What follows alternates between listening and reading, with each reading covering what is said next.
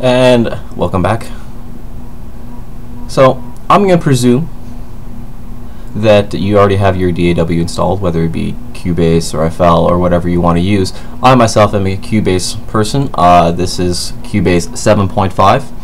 Uh, this is the 64-bit version.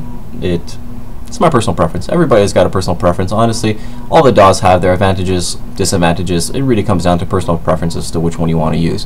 I mean, you hear a lot of people go back and forth regarding which one is better and, and this and so and, and whatnot. Go with the one that you're comfortable with.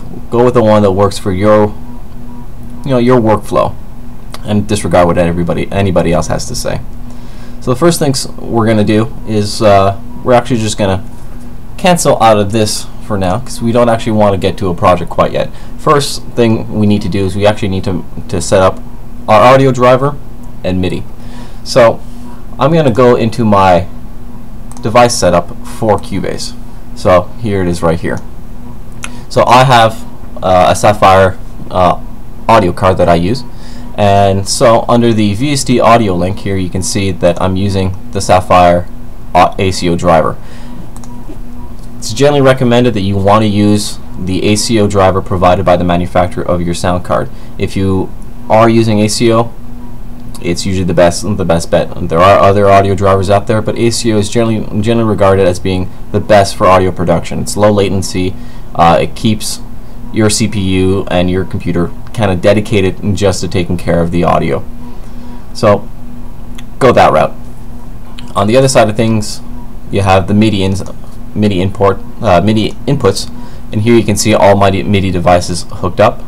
You want to make sure that uh, your devices are listed and are listed as active. So I'm actually using an Uno interface for my for my MIDI for my MIDI keyboard here. So as you can see it's visible it's active and it is selected to, to control all MIDI inputs. So make sure that that is all set up that you got the right audio driver set, uh, configured and that your MIDI is listed.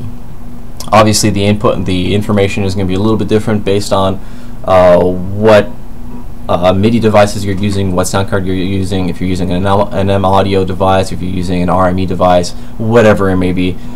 Just make sure that it has been properly uh, installed and that your DAW can list it, uh, can see it. Sorry. Uh, and then once you're there, you're pretty much ready to go in terms of actually getting to a project. So that's going to be our next video.